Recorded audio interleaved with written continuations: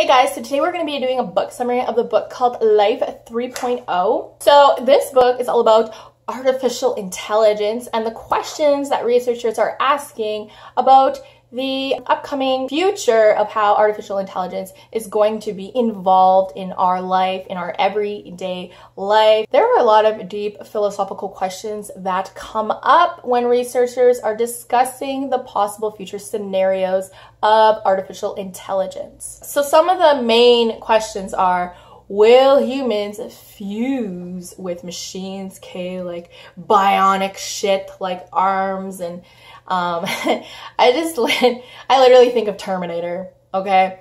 Is that shit gonna happen? Next question is will machines bend to our will? Ooh, what? So we're gonna have like you know slaves? Are we gonna have like slave robots? You know you do my dishes you fold my clothes do my laundry Mm, robot. I want to have a robot maid. Y'all want to have robot chefs? I'm down. And the next most scary question is will AI take over? Because it seems to be a possibility.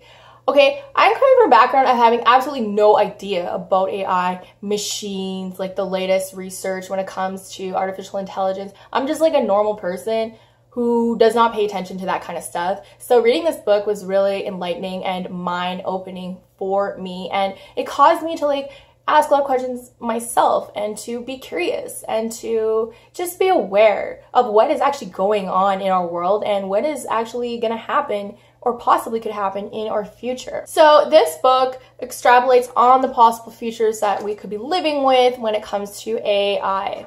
So the whole title, Life 3.0, is kind of based on like a theory of like, oh, right now we're kind of coming into the life 3.0 era. So the first like life 1.0 is all biology. Okay, it's how our world was created biologically with chemicals. Okay, so like our DNA, nature.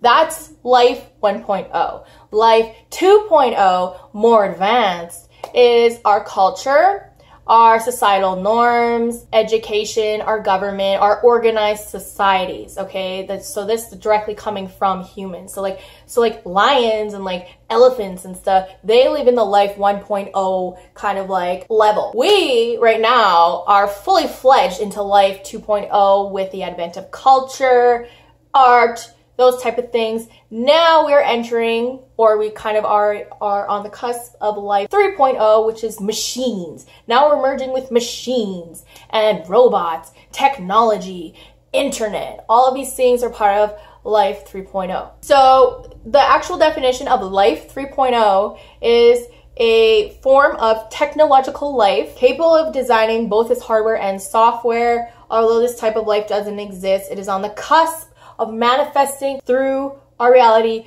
through AI. Okay, so it's like a robot that can like upgrade itself. It's like self upgrading. So it's like how our body like upgrades itself and like gets rid of all the dead cells and like, you know, regrows new cells, regenerates. The the robots can do this. It won't need us to like upgrade its software anymore. It'll just be able to do it by itself. So, um, according to the author, AI is advancing quite rapidly. I, I really want to hit home with you guys that machines are capable of learning. It's not like, oh, they just get a program and they just run on the program on repeat. They have created machines that can literally learn and like be creative now like a human being would.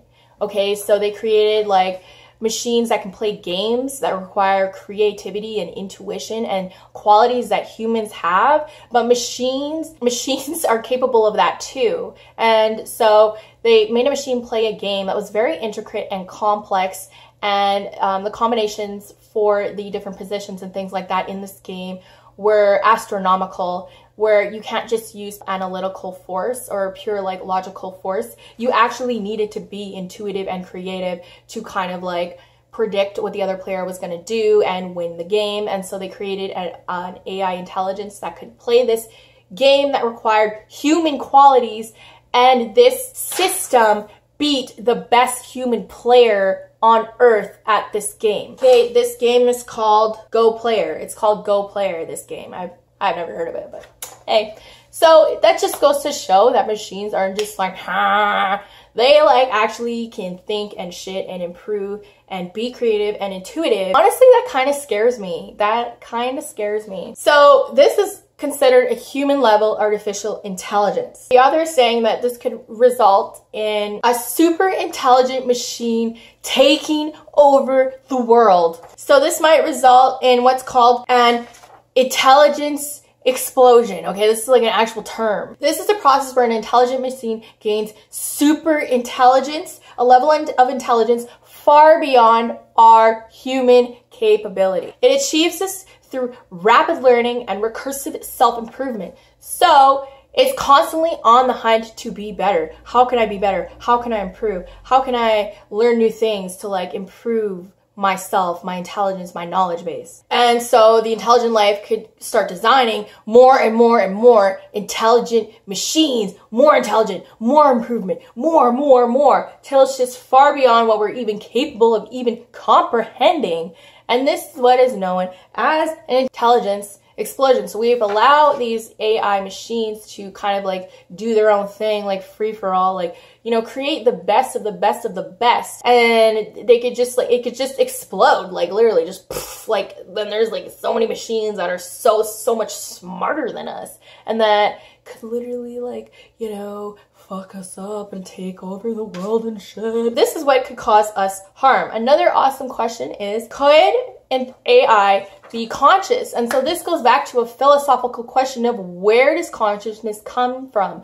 What is consciousness? What are the ingredients required to create a conscious being? Because we still kind of don't know right? Like if you look at the biological aspects of a human, it's just chemicals. It's just DNA. It's just molecules and like carbon. You know, like carbon is inert. Carbon is not conscious, but yet when you put carbon in the combination that creates a human being, it becomes conscious. How does that happen? And can that happen for artificial intelligence? And that's one of the big questions that researchers of artificial intelligence are asking. A lot of AI researchers suggest that the AI experience could actually be more rich than our human experience because we could give them sensors that have better scope. Okay, so we could give them better eyes that can see colors that we can't see. We can give them supersonic hearing that so to hear frequencies that we can't hear. So their overall subjective experience of Earth could be so much richer, so much more sensations